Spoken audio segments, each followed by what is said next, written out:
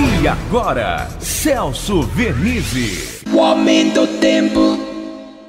Olá, amiga, olá, amigo. Tudo concentrou-se no Vale do Ribeira. As áreas de instabilidades com a umidade e o calorão de ontem, que atingiu todo o estado de São Paulo. Sensação de 35 graus no litoral à tarde, mais do que isso em todo o interior, na capital também.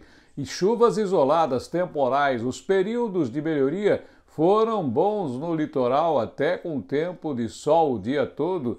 Era um tempo que queríamos para o fim de semana e não tivemos no litoral. Mas hoje a coisa complica mais. Aquilo tudo que caiu no Vale do Ribeira se junta a uma nova frente fria que se formará no Oceano Atlântico e vamos ter aí com a evaporação e a umidade risco de temporais, queda de granizo novamente, pontualmente em algumas localidades.